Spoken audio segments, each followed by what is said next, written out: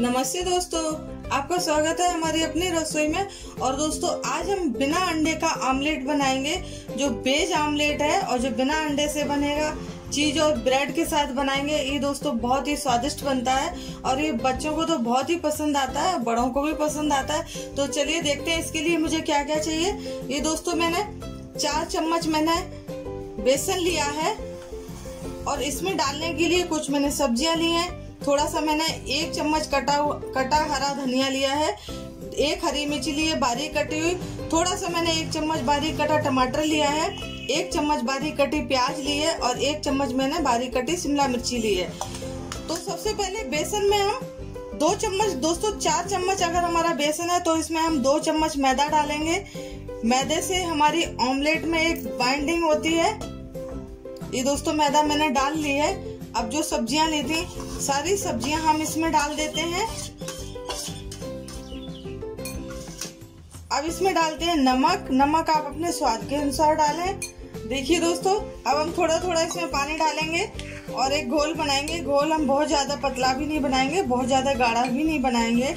और ये देखिए हमारा घोल बनके तैयार हो गया है। अब हम इसको पाँच मिनट के लिए रख देते हैं ताकि ये थोड़ा सा फूल जाए। देखिए दोस्तों ये बेसन हमारा फूट गया है। अब हम इसमें वन फोर चम्मच बेकिंग सोडा डालेंगे। और इसको एक बार अच्छे से और मिक्स करते हैं। देखिए दोस्तों, मैंने गैस पे पैन रखा है और पैन हमारा गर्म हो गया है। अभी मैंने इसमें ऑयल बिल्कुल भी नहीं डाला है। अब हम एक ब्रेड लेंगे और बिना ऑयल के इसको हल्के से इसको सेक लेते हैं ताकि हमारा जो ब्रेड सैंडविच है ना, वो अच्छे से थोड़ा क्रंची बने। देखिए दोस्तों ब्रेड हमारी सेक चुकी है। ये हल्की सी गोल्डन ब्राउन हो गई है। हमें बहुत ज़्यादा इसको नहीं सेकना है। अब हम इसको निकाल लेते हैं। अब दोस्तों, हम इसी पैन में थोड़ा सा हम बिल्कुल थोड़ा सा पैन चिकना करेंगे। आप जो घी खाते हो ऑयल खाते हो, आप उसको डाल सकते हैं। उसके बाद जो मैंने वेजिटेबल्स ऑमलेट का बैटर बनाया था, अब हम इसको डालते हैं। और इसको अच्छी तरह से फैला देते हैं चारों तरफ़। देखिए दोस्तों ऑमलेट मैंने अच्छे से फैला दी है और थोड़ा सा ये कलर भी चेंज हो गई है। अब हम किनारी पे एक दो बूंद, थोड़ा सा हम रिफाइंड ऑयल और डालेंगे। और दोस्तों, अब इसको हम पलट देते हैं। देखिए हमारी किनारी से ये अच्छे से हो गई है। देखिए दोस्तों, इस तरह से हम इसको पलट देते हैं और ये एक तरफ़ हमारी अच्छे से सीख गई है। अब हम थोड़ा सा दूसरी तरफ़ भी अच्छे से घुमा के इसको सेक लेते हैं। देखिए दोस्तों, बेज आमलेट हमारी सीख गई है और इसको मुझे हल्के से सेकना है, बहुत ज़्यादा नहीं सेकना है। अब मैंने जो ब्रेड लिया था, ब्रेड हम इस पर लगा देते हैं और ब्रेड के ऊपर हम चीज़ भी लगा देते हैं। ये मैंने चीज़ स्लाइस ली थी, इसको भी रख देते हैं।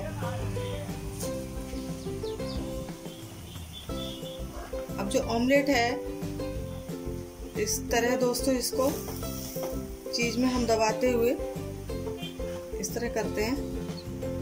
देखिए दोस्तों, मैंने इस तरह से इसको किनारियों को उठा के और मैंने ऊपर चीज़ में इसको पेस्ट कर दिया है। अब जो मैंने बैटर लिया था, थोड़ा सा बैटर मैंने बचा के रखा था। अब इसके ऊपर एक बार बैटर हम और फैला देते हैं। देखिए दोस्तों, जो मैंने बैटर था, बचा हुआ, वो भी इसके ऊपर अच्छे से फैला दिया है। अब सावधानी से हम इसको पलट देते हैं। देखिए, कितना अच्छे से सेक गया है। अब दूसरी तरफ़ भी एक बार और अच्छे से सेक लेते हैं। देखिए दोस्तों, वेजिटेबल्स बिना अंडे की चीज़, आमलेट हमारी बनके तैयार है और ये कितने अच्छे से सेक गई है। अब हम इसको निकाल लेते हैं और गर्मा गर्म करते हैं सर्व सैंडविच ऑमलेट मैंने निकाल लिया है। अब हम इसको चाकू की हेल्प से इस तरह कट करते हैं। देखिए, कितना ये अच्छा बना है। देखिए दोस्तों वेजिटेबल्स, आमलेट, सैंडविच हमारा बनके तैयार है और ये बच्चे बड़ों को सभी को बहुत ही पसंद आएगा। ये सुबह के नाश्ते में या शाम की चाय के साथ आप कभी भी इसको बना सकते हैं। ये बहुत ही टेस्टी एंड हेल्दी रेसिपी है और प्लीज़ अगर हमारी वीडियो आपको थोड़ी सी भी अगर पसंद आती है तो इसको लाइक करें, सब्सक्राइब करें। मिलते हैं नेक्स्ट अगली वीडियो में, तब तक के लिए धन्यवाद।